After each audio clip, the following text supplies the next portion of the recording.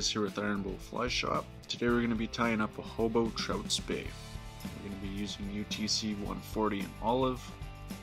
Just going to start our thread here, work our way back to the shank, using the Aquaflies round eye 27 mil.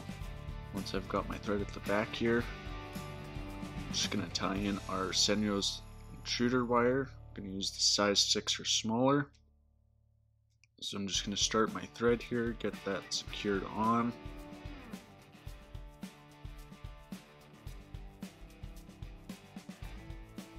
When I get to the top here, I'm going to fold over the excess. Just helps ensure security on that shank.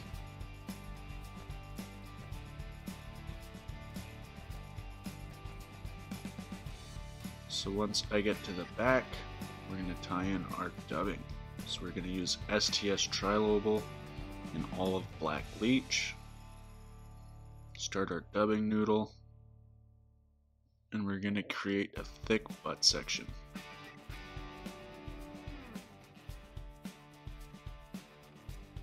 So once I get this tied in here, we're going to be tying in our guinea.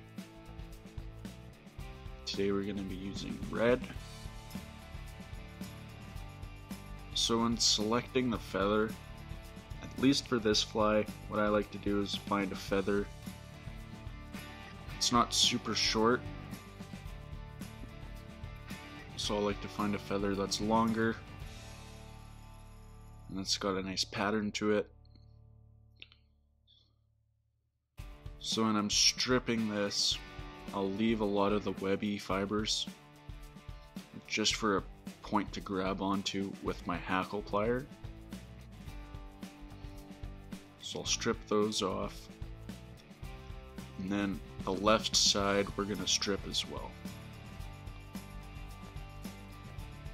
So once I've got this stripped off, we are just about ready to tie this in here. Separate at the tip.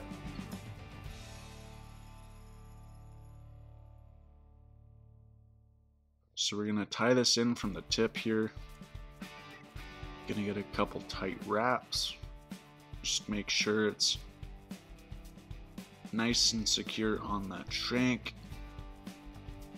So now that we have our guinea tied in, we're to create a dubbing loop here. Work our thread forward, come in with a little bit of low-tax wax. Apply a little bit to our thread,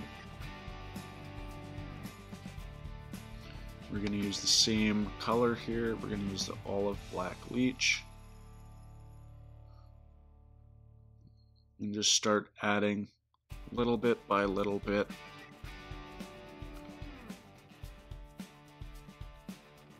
So once we've got our dubbing in, we're going to give that a good spin with our dubbing twister.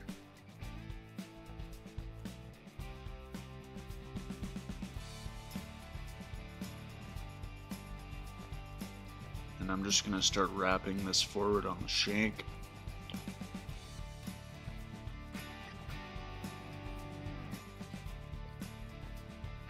A couple good tight wraps. Trim off our excess dubbing loop. Now we're ready to wrap our guinea feather. So I'm just going to grab my hackle pliers here.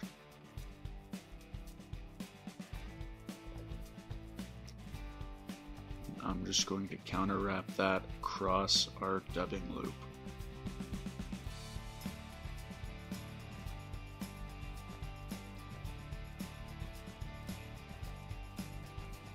Tie in the end of that feather here, just make sure it's nice and secure. Pull back any fibers if you need to. Now we're going to be tying in our marabou. Typically I would use Extra Select, just has a longer fiber, but because this is a trout spey fly, I don't need the extra length. So we're going to be tying this in from the tip again. So I'm just going to trim off the smaller fibers here. Proportionately just wouldn't necessarily work. So I'm also going to give this a measure here with my ruler just to make sure the length of the marabou is what I need here. So I'm going to come in with my Hareline bead ruler. We're just going to measure this and make sure it's about 2 inches. So I'm going to take those fibers and just make sure that they're the right length. Put that in my prep station here. So now that we've got our feather prepped, we're just going to tie this in here from the tip.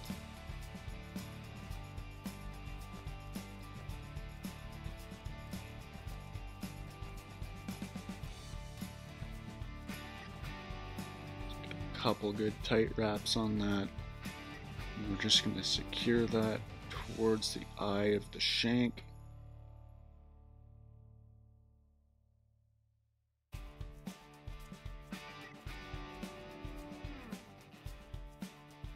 Come in with my hackle pliers again here. I'm just going to grab the end of that feather. I'm just going to wrap this forward, trim off our excess.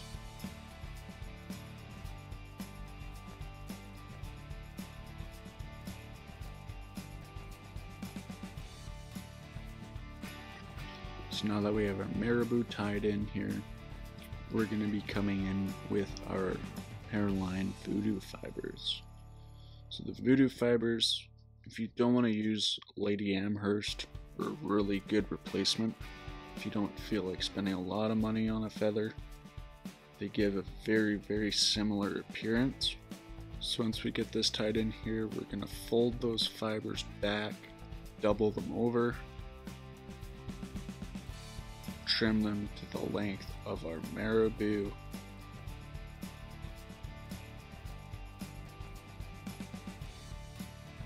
We're going to do the same on the bottom.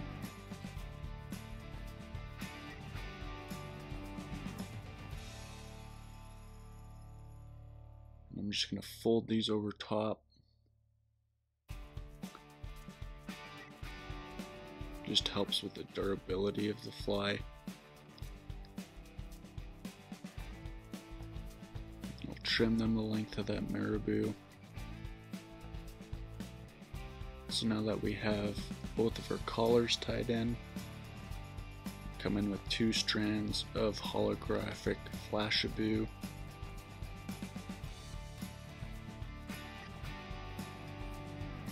So I'll tie these in here. Double them over. Just make sure they're nice and secure on that shank.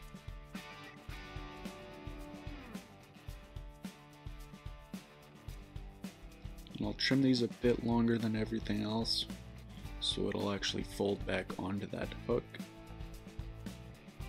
Now we're ready for our whip finish. Do about four or five turns. Cut off our thread. You can either finish it with the olive head. What I like to do is come in with UTC 140 in fluorescent orange. And we're just going to create a hot head on this fly. So I'll get a couple good tight wraps on. Cut off our excess. And I'll just cover our olive thread base with the fluorescent orange. Make sure everything's covered up. I'll do another whip finish here.